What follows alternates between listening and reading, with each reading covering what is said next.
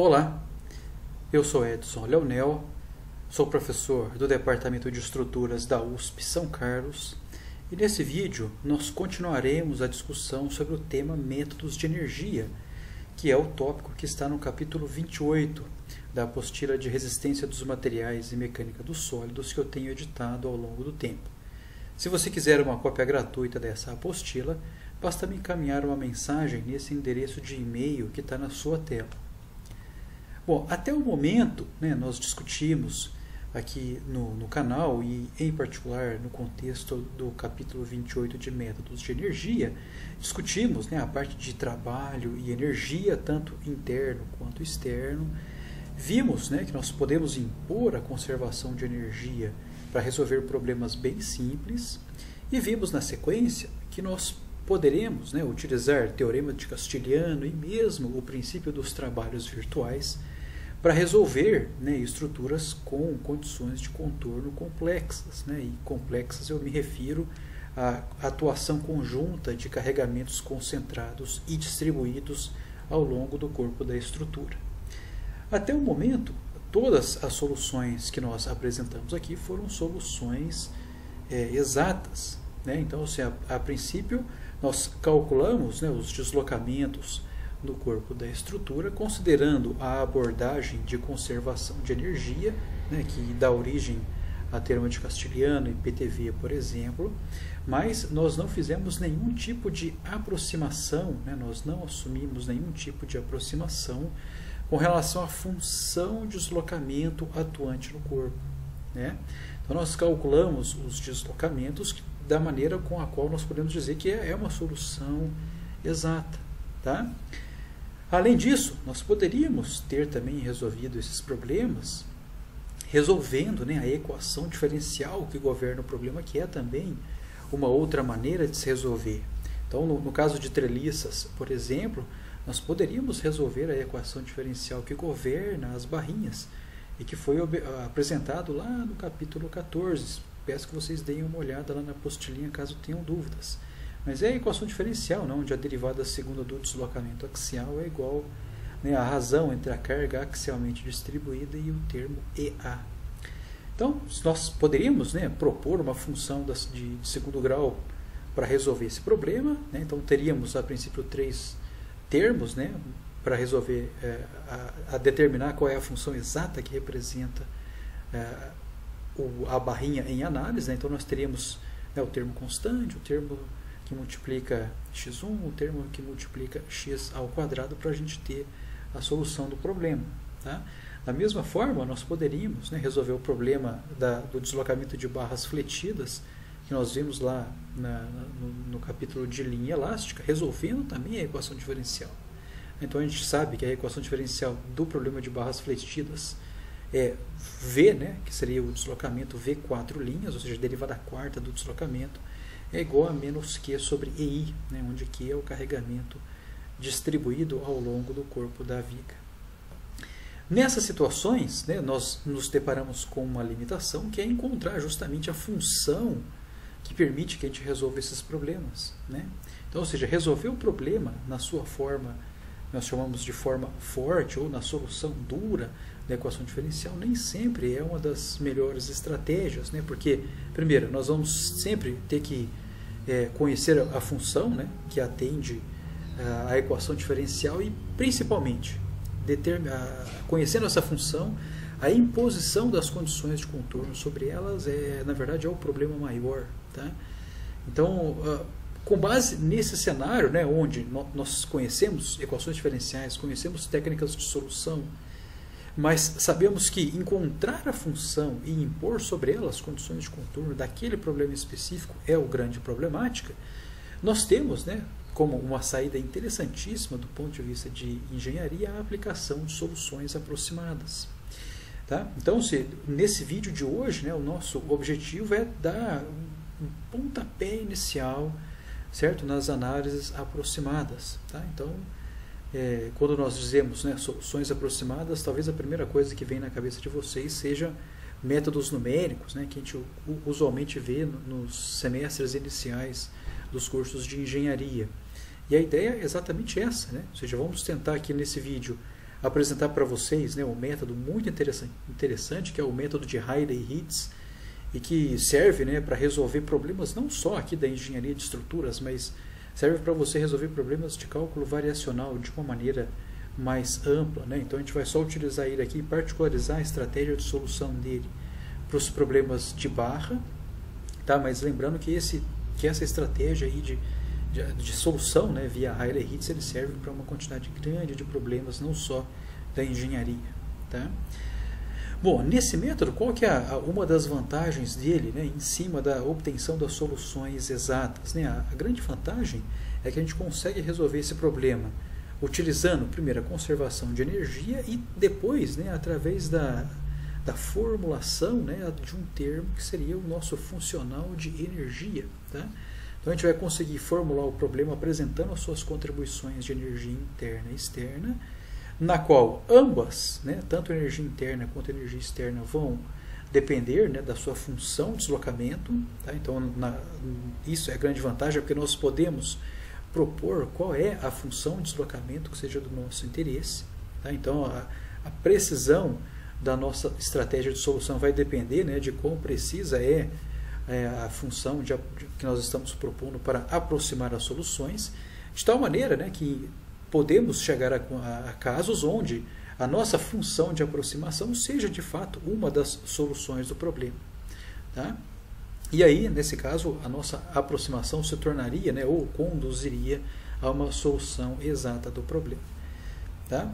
A, a vantagem que eu vejo né, no método de Rayleigh-Hitz é, ao invés de resolver o problema na sua forma dura, nós conseguimos formular o problema com base em energia, como eu já disse anteriormente, mas essa formulação permite que a gente resolva o problema em sua forma fraca. Tá? Aí você fala, ah, mas o que, que você quer dizer com forma forte? O que, que você quer dizer com forma fraca? Olha, no nosso contexto aqui desse vídeo em particular, que é um vídeo de introdução, né? a gente vai apresentar o método aqui de forma rápida, mas que tem o objetivo apenas de, ah, sabe, jogar luz apenas, que esse, esse campo ele é muito vasto né? de, de soluções aproximadas. Quando eu digo, né, quando uma solução em forma forte, eu estou dizendo uma, uma solução, né, uma função, um deslocamento, por exemplo, que resolva a equação diferencial do problema. Tá? Quando eu digo forma fraca, tá, eu estou obtendo uma redação né, ou uma formulação do problema na qual os requisitos da função que você quer aproximar sejam menores do que né, os requisitos da sua solução em forma forte. Tá? Então, só para vocês terem uma ideia, a gente vai ver isso na sequência. Né? Se eu, é, no caso da, das estruturas de treliça, nós sabemos que a equação diferencial que governa o problema é uma U duas linhas igual a Q sobre A. Então, ou seja, eu preciso de uma função né, para resolver o problema que seja do segundo grau, pelo menos. Tá? Então, ou seja, se eu preciso de uma função de segundo grau, eu vou precisar de condições de contorno suficientes para que eu determine os termos né, dessa função de aproximação. Agora, será que existe né, uma outra abordagem na qual, ao invés de eu obter, né, ou já atribuir diretamente essa função do segundo grau, será que eu consigo formular o problema escrevendo a dependência do deslocamento não mais em termos de derivada segunda, mas em termos de derivada primeira? Né? Ou seja, eu estou reduzindo né, o requisito da função de deslocamento de duas linhas para apenas uma linha. Então, é, ou seja, essa redação onde eu reduzo esse requisito, né, particularmente de continuidade da função, é o que nós chamamos de forma fraca. Tá certo? Então, isso aí permite com que, uh, primeiro, né, a gente tenha a liberdade de escolher qual é o tipo de função que a gente vai escolher para aproximar o problema e, com isso, né, ou seja, tornando a função, esse essa questão né, de continuidade da função mais flexível, a gente tem mais liberdade de escolha dessa função. Tá? Então, ó, outro conceito interessante que nós vamos aplicar aqui é o conceito de funcional de energia que eu mencionei brevemente no slide anterior, né, que na verdade é o que está escrito aqui na tela de vocês, está na segunda linha, que, né, que eu estou chamando de π maiúsculo que depende aqui dos deslocamentos axiais e dos deslocamentos é, perpendiculares ao eixo das, das, estruturas de barra, em especial aqui nós vamos tratar apenas treliças e viguinhas, né, estruturas fletidas. Esse funcional ele é escrito né, através de uma energia interna menos energia externa. Tá? Então você fala, ah, mas até aqui não tem novidade nenhuma. Durante o capítulo 28, nós discutimos muito energia interna, energia externa. Sim, e de fato fizemos isso. Mas o que é interessante aqui ó, é que nós definimos a partir de agora um funcional. Tá? Então você fala, ah, mas o que é um funcional? Bom, funcional nada mais é do que uma função composta por funções, basicamente isso. Tá? Então aqui nós teremos o funcional, que eu vou chamar de funcional de energia, porque as funções que estão dentro dela, que são o interno e o externo, são energia, tá? ou seja, são também funções de energia, nesse caso interno, no outro caso externo. Tá? Mas né, o que é importante nesse caso é que tanto energia interna quanto energia externa permanecem com as definições que nós aplicamos anteriormente. Tá? Então, no caso aqui, a energia interna vai depender aqui da, do produto, né, de tensões e deformações, de tal maneira que nós conseguimos aliar né, os, as forças equivalentes com uh, os deslocamentos né, que estão associados no fundo às deformações, nesse caso, as forças volumétricas e os deslocamentos do, do, no corpo da estrutura, as forças né, distribuídas ao longo do contorno da estrutura e também as forças e ações pontuais atuantes também ao longo do corpo da estrutura. Tá? Então, é, a princípio, né, é, não, não, muda nada aqui. Né? A única coisa é que eu estou definindo uma outra função, um outro operador, que envolve né, uma função de energia interna e uma função de energia externa. Tá? Aí você fala para mim, ah, mas no caso de conservação de energia, que é o que nós estávamos assumindo sempre, esse funcional vai ser zero? Resposta é sim. Né? Então, ou seja, se nós estamos assumindo que não existam fenômenos de dissipação de energia, então a energia externa né, tem que ser igual à energia interna para que o equilíbrio seja possível. Tá bom? Então o que nós vamos fazer agora é, basicamente, né, ó, no, no, no, que, no que se refere aqui à energia externa, é tudo muito tranquilo, né, porque nós já vamos conhecer quais são os carregamentos atuantes na estrutura e nós iremos impor os campos de deslocamento. Né? Então, os campos de deslocamento serão dados pela função que nós vamos adotar para representar o problema. Tá? E aí, essa função que nós temos a liberdade de escolher dentro de pequenas restrições, né, que eu já vou mencionar a seguir, é, conhecendo ela, né, nós conseguimos calcular o trabalho externo, né, que é, é basicamente for, é, produto escalar né, de força e deslocamento. Então, se as forças são prescritas e o campo de deslocamento nós iremos aproximar por funções que nos convenha, conseguimos calcular aí de forma tranquila a energia externa. No caso da energia interna, também nós conseguimos fazer isso aqui de forma bem tranquila. Né? Conseguimos né, associar deformações a deslocamentos e conseguimos também, né, com base nos carregamentos, encontrar os campos de tensão sem problema nenhum. Mas o que eu quero fazer aqui, em particular, nos próximos slides, é particularizar esse termo aqui da energia interna para as treliças planas e para também barras solicitadas à flexão. Tá? Então, com isso, fazendo né, essa é, particularização, vocês vão ver, enxergar bem claramente né, qual é a forma forte e qual é a forma fraca do problema, para vocês verem né, aquilo que eu comentei anteriormente sobre os requisitos de continuidade da função né, proposta para a solução do problema.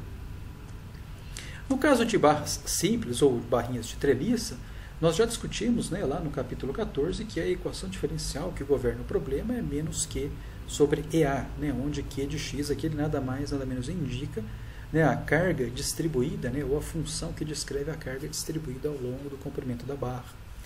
Então, nessa situação aqui, se eu quero resolver o problema em sua forma forte, basta que eu proponha aqui né, uma função né, com um grau de aproximação tal que permita com que eu é, represente né, adequadamente a função U, que é o deslocamento axial. Tá?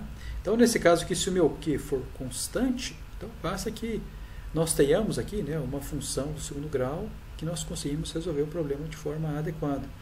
Tá? E à medida que eu for aumentando né, o grau, é, a complexidade, na verdade, né, da distribuição dessa função de Q de x, os requisitos né, da função de aproximação desse deslocamento também vai mudar. Tá? O que, no fundo, complica bastante a nossa vida em termos de solução em forma forte do problema. Tá bom? Então, para a gente resolver esse cara aqui, a gente pode, né, como mencionei anteriormente, é, utilizar né, a determinação da energia interna e resolver o problema em sua forma fraca. Então, para isso, vamos só retomar essa equação aqui ó, de cálculo de deslocamento axial de barras né, de trelicinhos solicitadas axialmente, que também está apresentada lá no capítulo 14. Então, a gente sabe né, que o deslocamento, por um caso né, de, uma barra aí solicitada a força normal é NL sobre A. Então, isso aqui é, no caso né, de eu ter aí uma barrinha com uma força normal constante ao longo do comprimento, mas que é, eu poderia também considerar o caso de força normal variável. Né? Então, nessa situação aqui, esse deslocamento viria de uma integral de n sobre A dx, né?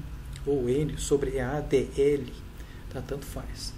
O, o, que importa é que, independente né, se você tem uma força variável ou não ao longo do comprimento da barra, é que se eu quiser tomar o deslocamento, né, ou a, a variação diferencial de deslocamento ao longo do comprimento da barra, né, basta que eu tome né, esse deslocamento como um diferencial de deslocamento, que vai ser nada mais nada menos igual né, do que o esforço normal sobre A, e o nosso comprimento vira o dx, né, que no fundo seria o comprimento da nossa seção transversal, né, que é uma lâmina, na verdade. Né? Então esse cara aqui vai me dar o diferencial de deslocamento axial que eu tenho numa viga, numa treliça nessas situações.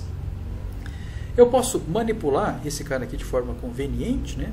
Então, fazendo um algebrismo simples aqui, eu posso deixar essa, essa razão de n sobre a em um membro e passo e du dx para o segundo membro. Tá? A gente sabe aqui ó, que n sobre a nada mais nada menos resulta do que uma tensão normal. E esse cara, se a gente olhar ele aqui, ó, ele se parece muito com alguma coisa que nós já vimos anteriormente. Né, ó. Esse cara aqui ele não se parece muito com uma lei de Hooke. Tá? Então eu posso escrever esse cara aqui como sigma é igual a E du dx, que nada mais nada menos é do que o U'. Então, se eu olhar essa expressão e lembrar né, da, da, expressão da lei de Hooke, onde sigma é igual a E epsilon, através dessa analogia muito simples a gente vê né, que o nosso epsilon, que é a deformação normal, ele é a derivada primeira do deslocamento. Tá bom? Então essa é uma maneira intuitiva da gente mostrar isso aqui. Existem caminhos mais digamos, formais né, para se mostrar essa relação, mas no nosso contexto aqui, do, no, no, na evolução que nós temos no momento, isso aqui já é suficiente. Tá? Então agora nós podemos retomar lá aquele, aquela expressão que nós tínhamos anteriormente, onde a energia interna é meio da integral no domínio de sigma vezes epsilon, integrado aí no, no volume da estrutura, né, no nosso d ômega. E nessa situação, ó, nosso sigma vai ser quem? E, epsilon, e o linha, né? e enquanto que a nossa deformação é a derivada primeira do deslocamento axial. Bom? Então, se nós integrarmos né, esse volume aqui, ou quebrar uma integral na área da seção transversal e no comprimento da, da, estrutura, e além disso, se eu assumir que a área da seção transversal não varia né, ao longo do comprimento da, da barrinha, né? então nesse caso essa integral na área se tornaria simplesmente a área da seção transversal, eu consigo expressar a energia interna dessa maneira, ó, como sendo o meio da integral no comprimento da barra do EA, o linha ao quadrado. Tá? Você fala, ah, que legal, agora que eu entendi. Ó. Essa expressão aqui ó, que nós obtivemos é uma expressão da forma fraca, tá vendo? Ó, que envolve a derivada primeira do deslocamento, enquanto a sua forma forte ela envolve uma derivada segunda. Tá? Então, por que, que isso é legal? É porque, através da forma fraca, eu estou reduzindo né, os requisitos de continuidade da função que eu vou propor para aproximar o problema. Tá? Beleza? Então, ó, isso é bacana. E no caso de viguinhas lá em barras em flexão, né, como que funciona? A gente já viu também lá no capítulo de linha elástica que a equação diferencial que governa o problema é o nosso V quatro linhas, que é igual a menos Q sobre EI. Né? Então eu consigo associar diretamente o carregamento atuante com né, a, a, variável que eu quero, na verdade, medir, que são os deslocamentos perpendiculares ao eixo. Tá? Mas do que nós já vimos lá, no capítulo de linha, de linha elástica, eu consigo também né, associar não o carregamento em si, né, mas eu consigo associar o momento fletor que é o esforço solicitante, né, e o momento fletor, claro, né, está associado ao carregamento atuante na estrutura, com esse termo aqui, né, com a derivada segunda do deslocamento. Então eu sei que é, D2V dx2 é igual a M sobre EI, ou como está redigido aqui ó, na, na, tela de vocês, EIV duas linhas é igual a M. Tá certo? Então eu vou utilizar essa resposta aqui ou esse resultado para a gente uh, obter né, a forma fraca do problema. Então se nós utilizarmos aqui a equação né, de tensões normais da flexão, e aqui eu estou omitindo né, o subíndice Z, né, tanto no momento quanto no momento de inércia, tanto né, no momento fletor quanto no momento de inércia, para simplicidade. Né? Então a gente pode substituir o momento aqui ó, por esse termo aqui, ó, a derivada segunda do deslocamento. Tá? Então lembrando né, que essa equação aqui ela tem um termo né, que depende da, do, da força normal e um termo que está associado também ao momento MY, mas que eu estou assumindo a princípio que esses dois termos são nulos. Tá? Então eu estou assumindo apenas a presença do momento mz aqui na jogada. Então, trocando aqui né, o momento pela derivada segunda do deslocamento, nós conseguimos escrever a tensão normal em função da derivada segunda do deslocamento. Né? Nesse caso aqui, os momentos de inércia é, vão cancelar. Então, nós conseguimos escrever essa tensão normal como sendo menos E via duas linhas Y. Tá bom? Então, joia. Então, se eu já consegui associar a tensão a derivada do deslocamento desejado. Então vamos calcular aqui qual é a componente da energia interna, tá? para que a gente depois componha o funcional de energia. Então a gente sabe, né, do que nós já vimos há dois slides atrás, que a energia interna é dada por meio da integral no domínio da estrutura da tensão, da formação diferencial de volume. No caso né, de uma barra, nós sabemos que esse diferencial de volume pode ser quebrado numa diferencial de área de seção transversal e uma diferencial no comprimento. Então, eu vou quebrar esse d ômega num dA dx. Tá? E aí, as tensões já está tá dado aqui, né? Ó. A tensão vai ser, vai ser o próprio EV, EV duas linhas Y e a deformação é pela lei de Hooke, né? Tensão normal sobre o módulo de elasticidade longitudinal, certo? Então, ó, vou ter um, um sigma ao quadrado, então, que vai permitir que eu eleve esse cara ao quadrado dividido por e. Então, aqui a gente vê claramente né, que vai aparecer um termo ao quadrado aqui do, é, da derivada segunda do deslocamento.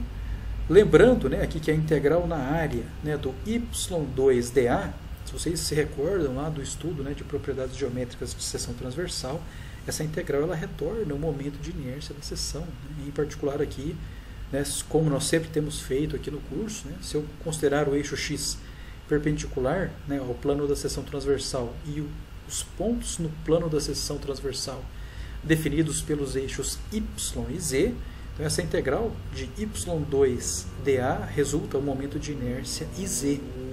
Tá bom? Então por isso que aparece esse i aqui, ó. Tudo bem? No, no, dentro dessa integral.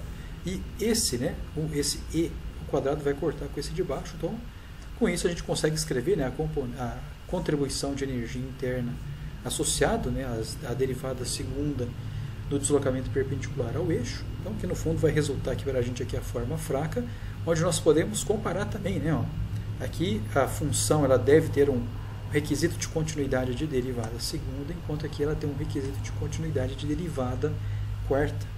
Tá? Então, as, usando essa estratégia de solução, nós temos mais liberdade, flexibilidade de escolher uma função de aproximação que seja do nosso interesse. Bom? Então, tranquilo até aqui. Ó. Então, se já conseguimos definir né, quais são as contribuições ou as, a formulação do problema para a energia interna de uma barrinha solicitada né, a um esforço axial e também de uma barra fletida ou submetida ao momento fletor, então agora a gente pode partir para a solução do problema em si. Né? Então, nós sabemos né, que é, neste problema, né, esse funcional, ele vai ser sempre nulo. Tá? Então, por que, que ele vai ser sempre nulo?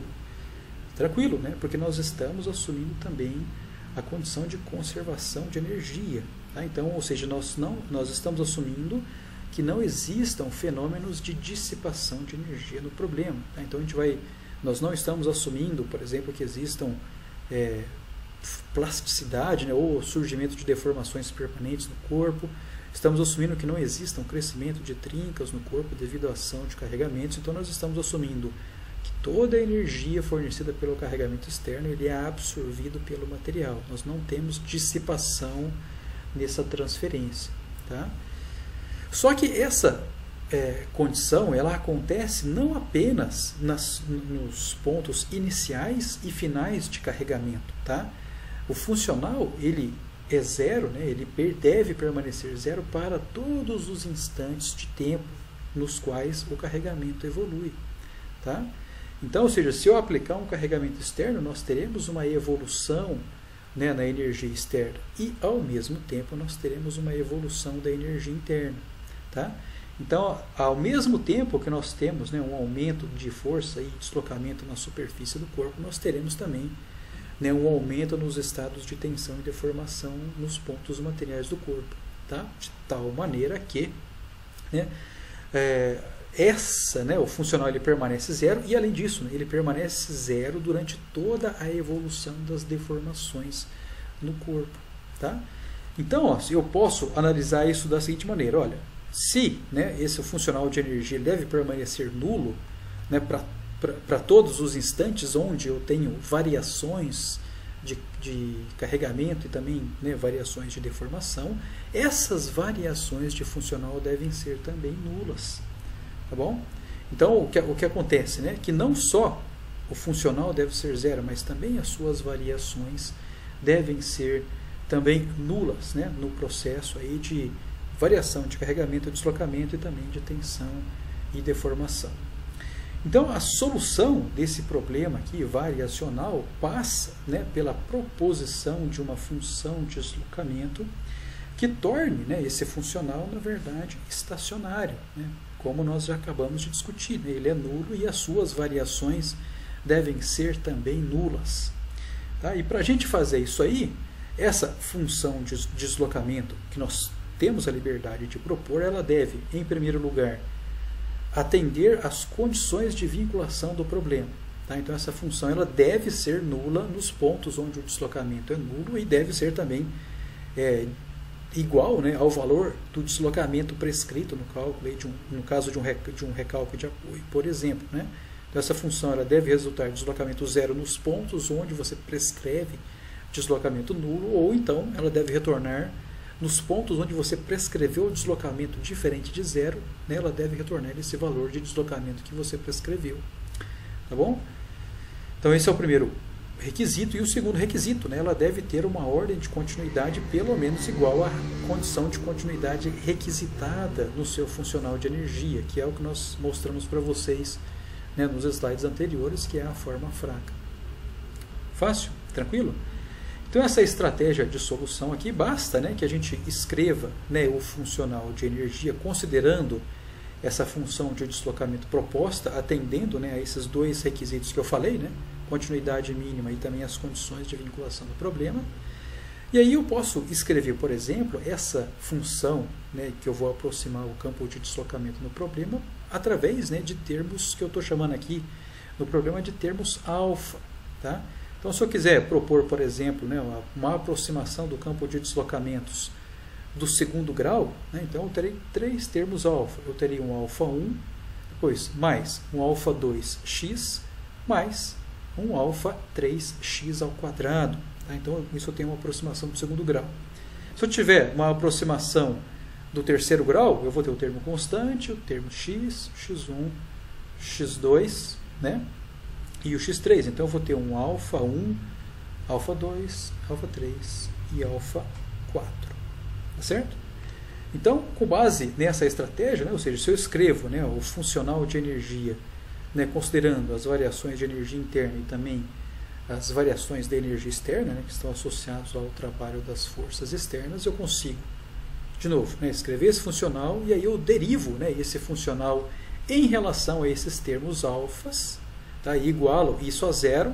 Por quê? Né? Porque eu sei que essas variações aqui elas devem ser zero né? para que a conservação de energia aconteça. E com isso eu determino o conjunto de termos alfa para aquela para aquele grau né, de aproximação que eu estou assumindo, que faz né, com que o funcional seja é, de fato estacionário. Tá bom? Então essa é a estratégia, né, é muito simples. Então é, esse método como já comentei, ele resolve não só problemas de engenharia de estruturas, mas resolve problemas de cálculo variacional de uma maneira geral. E no nosso caso aqui, isso aqui se enquadra bem bacana, né? porque é, no, nós conseguimos escrever né, o funcional com base na energia interna e externa, que nós já vimos anteriormente aqui no, no nosso curso. Assumimos também conservação de energia, que é algo também que nós já discutimos no curso, e com isso nós conseguimos entender que não só o funcional é nulo ao longo do processo de carregamento, mas também que as suas variações são nulas. Tá? Então isso aí permite que nós utilizemos essa estratégia de solução. Tá? Então vamos resolver um exemplo para vocês verem que isso é muito simples, né? essa estratégia aqui é muito bacana. Então nesse exemplo ele pede ó, que a gente determine o deslocamento vertical no centro do vão para a viga ilustrada na figura abaixo. Então pede que a gente considere ó, EI constante ao longo do comprimento aí da barrinha. Então essa viguinha, ó, ela é uma viguinha apoiada, submetida a um carregamento uniformemente distribuído de intensidade Q. Então quando a gente bate o olho nessa estrutura e com base aí no conhecimento que nós já temos aí de mecânica dos sólidos, a gente consegue ver, já sacar né, de forma clara qual é o grau é, de deslocamento né, da solução exata do problema. Tá? Então se você não já ainda não conseguiu fazer esse salto, né, é bem simples. Ó. Se nós utilizarmos as relações diferenciais, nós conseguimos associar a força cortante ao carregamento distribuído. Tá? Então, nós já vimos lá que o nosso dv dx é igual a menos q de x. Então, ó, se o nosso q de x aqui ele é constante, então o que, que eu derivo que me dá uma constante? É uma função linear, concorda? Se eu derivar uma função linear, isso aí vira uma constante. Então nós conseguimos, através das relações diferenciais, inferir né, que o cortante varia linearmente ao longo do comprimento da estrutura. Além disso, pelas relações diferenciais, nós sabemos que o dm dx é igual a v. Então, ou seja, a derivada do momento em relação ao comprimento da barra ela é igual ao cortante. Certo? Então, se o cortante tem variação linear, consequentemente o momento tem uma variação quadrática. Tudo bem? Tranquilo até aqui? Então, se o momento tem uma variação quadrática, olha, olha lembra lá da, da, das linha, da relação da linha elástica, né? d2v dx2 é igual a m sobre i. Então, se o meu m é uma função quadrática e eu obtenho o deslocamento através né, de um processo de integrações sucessivas, eu integro né, sucessivamente por duas vezes essa relação. Então, se eu integrar aí um, uma função quadrática duas vezes, eu vou ter uma função de deslocamento que é de fato do quarto grau. Tá? Então, ou seja, batendo o olho a gente já consegue sacar né, qual é a função que descreve exatamente o deslocamento dessa viguinha aí. Mas, para mostrar para vocês né, como que o método funciona, eu vou resolver primeiro esse mesmo problema utilizando uma função do segundo grau, para que a gente obtenha né, uma configuração deslocada de fato aproximada do problema, e depois a gente vai resolver o problema com a função do quarto grau, que é a solução exata do problema. Nesse problema aí, se vocês, é, vocês podem consultar aí é, as tabelas né, de deslocamentos de vigas, ou mesmo resolver esse problema via linha elástica, vocês vão descobrir que o deslocamento no centro do vão, considerando né, apenas a contribuição é, associada à flexão, é 5QL a quarta sobre 384 EI. Tá? Então, essa é a nossa solução de referência nesse problema. Tudo bem? Então vamos partir aí para a estratégia de solução. Então a função nós vamos utilizar para resolver um problema, inicialmente, né, é uma função do segundo grau, onde eu tenho aqui ó, um alfa 1x ao quadrado mais um alfa 2x mais um alfa 3. Tudo bem? Então essa função aqui, ela atende né, aos requisitos de continuidade do funcional, porque nós já vimos lá que a energia interna de uma barrinha fletida, ela depende de uma derivada segunda dessa função aqui ó, de deslocamento aproximado. Tá bom? Então, se eu derivar ela duas vezes, ela não vai me retornar zero. É isso que eu quero dizer. Certo? Além disso, né, além dela atender a esses requisitos aqui de continuidade, essa função ela deve atender também às condições de vinculação do problema. Então, como essa viguinha ela é biapoiada, essa função ela obrigatoriamente tem que retornar deslocamento zero em x igual a zero e deslocamento zero em x igual a L tá? ou seja, as condições de vinculação do problema. Então, se nós impormos aqui essas condições de vinculação sobre a função, que é, o, é no fundo é o segundo passo. Né? O primeiro passo é você verificar né, se a função atende às condições né, de continuidade exigidas pelo funcional. Atende. A segunda é nós temos que garantir que essa função também atenda às condições de vinculação do problema. Então, em x igual a zero, essa função aqui, para ela ser zero, o alfa 3 tem que ser obrigatoriamente zero. Então, isso é um, já matamos né, ó, das incógnitas aqui, alfa 1, alfa 2, alfa 3, já sabemos que alfa 3 é zero. Tá? Com o deslocamento, ele deve ser zero também lá em x igual a L, então basta que a gente substitua aqui x igual a L nessa expressão e vamos descobrir que o alfa 2 né, tem que ser igual a menos alfa 1L, para que nós tenhamos a solução nesse, adequada nesse problema. Tá bom? Dessa maneira, a nossa função de deslocamento nós, é aproximada, claro, né, nós estamos propondo ela aqui, ela pode ser escrita como α1x ao quadrado menos α1lx. Tá? Então, como lá no funcional nós precisamos da derivada segunda dessa função, vamos derivar ela duas vezes já. Né? Eu vou derivar ela uma vez em relação a x e depois derivar ela uma outra vez em relação a x. Vamos descobrir que a derivada segunda né, dessa função aproximada é 2 alfa 1. Tá? Então, quer dizer, tranquilo até aqui. Vamos impor né, a, solução, vamos escrever então agora o funcional de energia e depois vamos derivar esse funcional de energia e igualá-lo a zero. Então, nesse caso, né, nós temos né, que a, a, energia interna é dada por meio da integral no comprimento de EI, V duas linhas ao quadrado dx, né, isso aqui é a energia interna, menos a energia externa, que é dada por QV dx, né, isso aqui também é integrado no comprimento. Tá bom?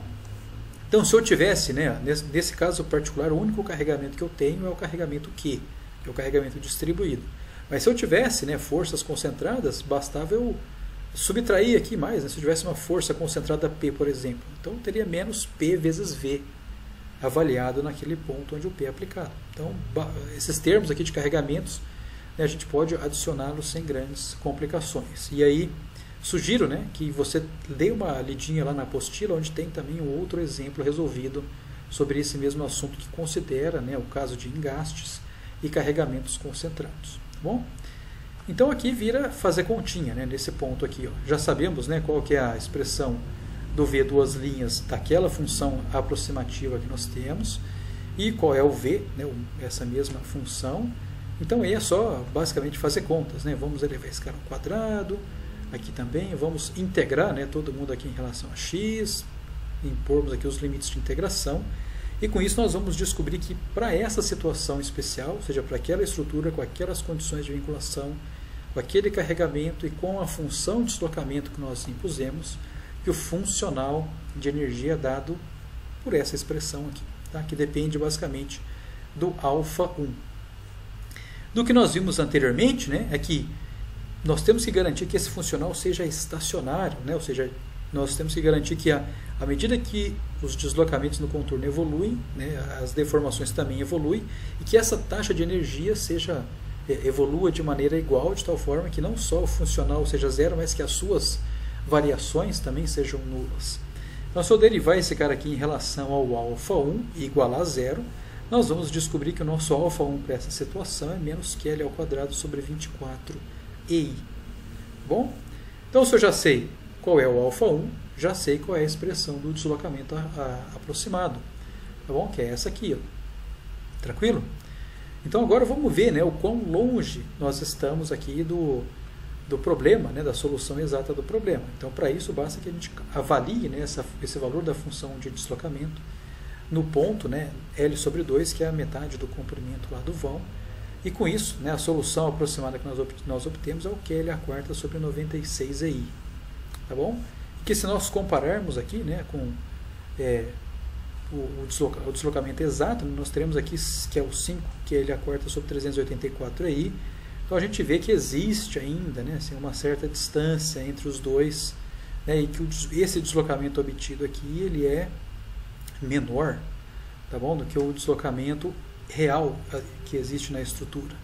Tá? Então aqui nós não estaríamos avaliando adequadamente o deslocamento na estrutura. Tudo bem?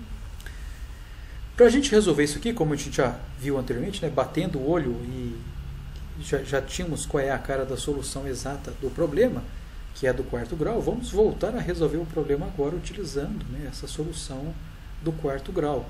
Então, vamos propor aqui uma função do quarto grau, que vai depender aqui né, do alfa 1x a quarta, mais um alfa 2x ao cubo, mais um alfa 3x quadrado, mais um alfa 4x, mais um alfa 5.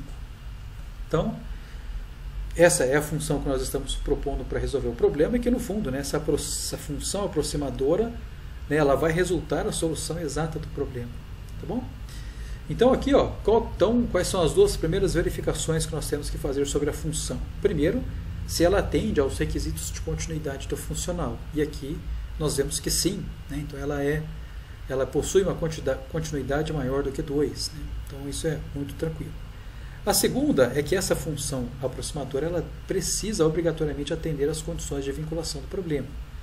Então essa função ela deve retornar né, deslocamento nulo em x igual a zero e deslocamento nulo em x igual a l. Então vamos impor essas condições aqui na função, né, para que depois essa função represente adequadamente o problema. Então em x é igual a zero, o deslocamento é zero se o alfa 5 for zero. Então ele já sai fora da jogada.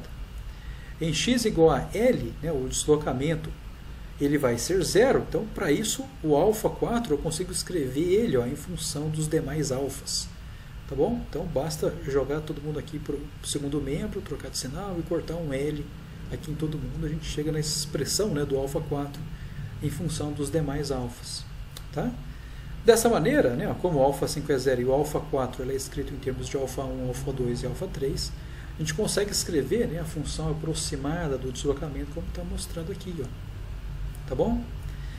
Então, tranquilo até aí. Ó. Então, se a função de aproximação dos deslocamentos é essa, posso derivá-la duas vezes. Então, derivo uma vez em relação a x e derivo mais uma vez em relação a x, para que a gente consiga avaliar né, o, o funcional para a gente calcular a energia interna. Tá bom? Então, esse cara aqui é a nossa derivada segunda da função aproximadora.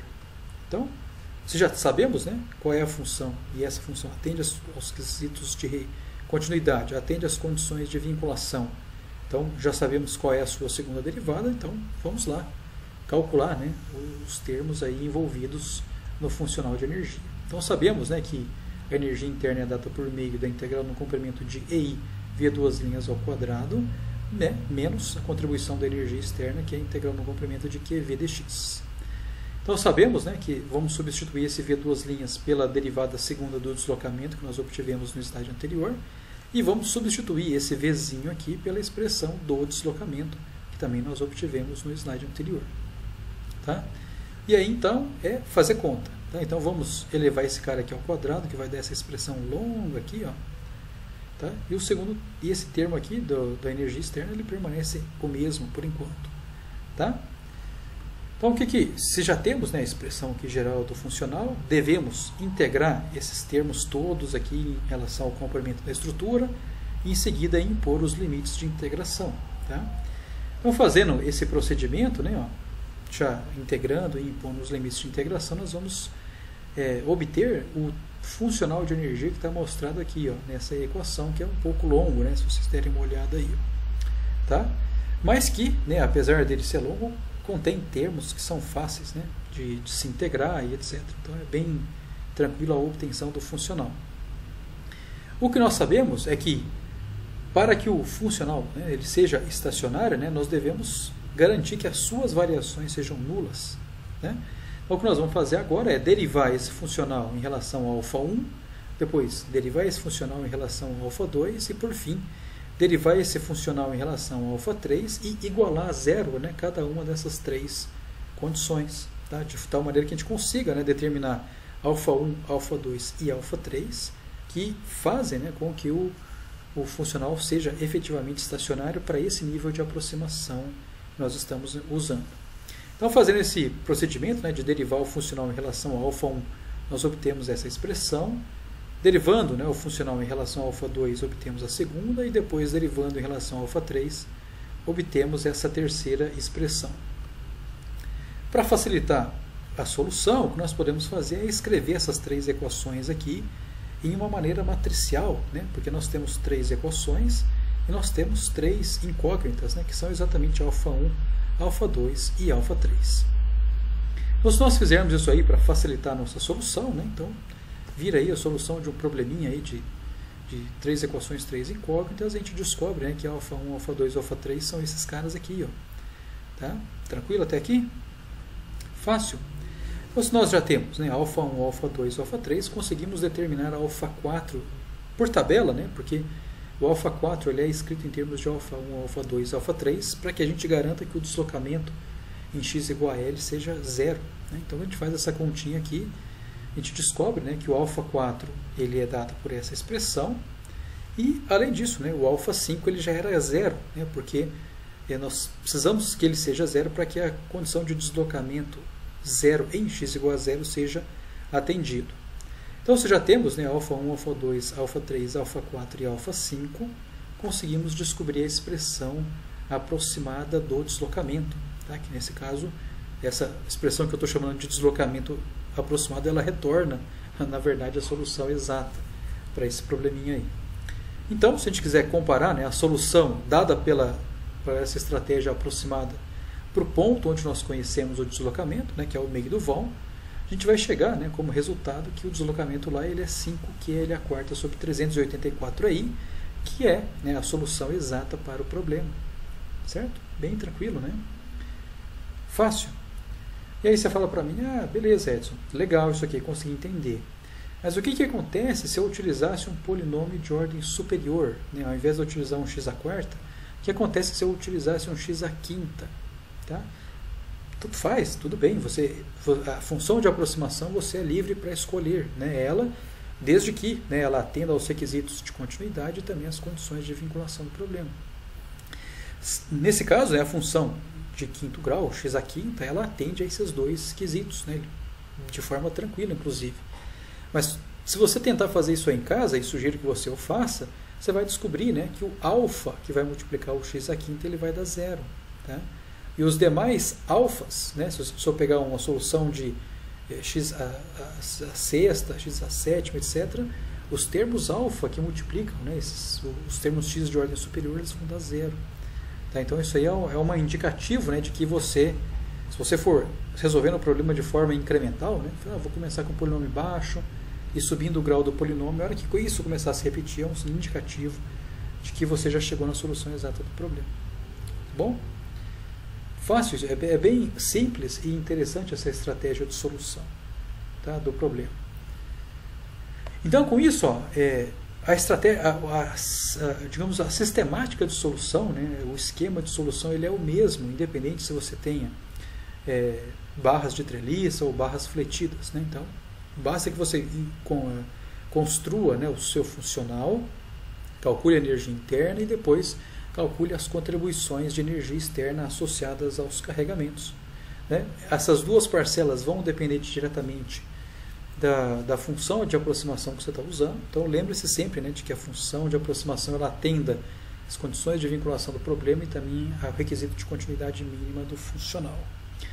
No caso de treliças, né, é eu não resolvi aqui no vídeo, né, também vocês vão ver que não tem exercício de treliça resolvido lá na apostila, porque é, muito é, é, trivial, é muito simples, né? Porque no caso das treliças usuais, as funções lineares, né, já vai resolver para você praticamente todos os casos. Né? Se você pegar uma estrutura de treliça plana, função linear já vai resolver exatamente o seu problema, né? Porque no caso de treliça plana você não tem carregamento distribuído ao longo do comprimento da barra. Tá? No, no, caso particular de você ter uma barrinha né, submetida aí, é, a carregamentos né, distribuídos, ao longo do corpo da estrutura. Então você tem aí uma, uma solução quadrática, você já vai resolver o seu problema, né, por causa de, uma, de um carregamento constante distribuído ao longo do comprimento da barrinha. O ponto-chave né, para a gente resolver esse problema é a escolha adequada da função de aproximação que a gente está usando. Então, esse é o ponto-chave. Então, se você já conseguir né, bater o olho na estrutura e já conseguir identificar qual é o grau de, de aproximação né, que você deve impor na, na, na sua estrutura para você resolver o problema de forma exata, ótimo. Né? Então, sugiro sempre que vocês façam né, uma análise prévia, né, olhe né, quais são a, a variação dos carregamentos para que você consiga inferir né, quais são as variações né, dos que governam aí, os esforços solicitantes para que a partir disso você consiga né, já inferir qual é o grau exato da função de aproximação que você deve propor. Bom? Apesar de eu não ter resolvido aqui, ó, esse método é muito legal para você resolver estruturas hiperestáticas. Tá? Então sugiro aí que vocês resolvam aí também uma viga, sabe, engastada nos dois extremos, submetida a um carregamento uniformemente distribuído. Tá? Que nesse caso é muito legal, tá? porque você vai continuar tendo uma função exata do quarto grau da sua solução de deslocamento, né? porque o seu carregamento aí, como ele é uniformemente distribuído, ele vai conduzir um momento, de variação quadrática, o que faz com que o deslocamento seja é, de fato né, do, do quarto grau. Mas a hora que você vai do quarto grau, você tem duas condições, você tem quatro né, condições de contorno. Então é muito tranquilo de você resolver o problema nessa situação. Tá bom? Então assim, é, é, ter, esse método apresenta vantagens né, quando você tem análise de problemas hiperestáticos. Na verdade, né, com esse vídeo, né, já concluindo aqui a minha, a minha fala, esse vídeo tem o objetivo puro e simples né, de mostrar para vocês aqui um lampejo né, do que é a aplicação de métodos aproximados na solução desses problemas né, de análise de estruturas. Existem disciplinas específicas para isso, né? Então, se você for buscar disciplinas de estática das estruturas, eu mesmo depois, né, análise numérica de estruturas, método dos elementos finitos, por aí, que são né, disciplinas que tratam exclusivamente né, da análise né, de desenvolvimento aí de funções de aproximação para a solução desses tipos de problemas. Isso né, não é o objetivo aqui da mecânica dos sólidos, né, não é o objetivo final. Né? Então, estou dando aqui apenas uma pincelada, né, um lampejo, para que caso né, alguém se interesse né, em estudar um pouquinho mais a fundo, e recomendo fortemente né, que os, é, se você se interessa por mecânica dos sólidos, você corra atrás dessas disciplinas, que assim eu faço, né, para complementar a sua formação e também seu conhecimento nesse tema que é muito importante. Tá? Então, agradeço por vocês terem visto o vídeo. Um grande abraço.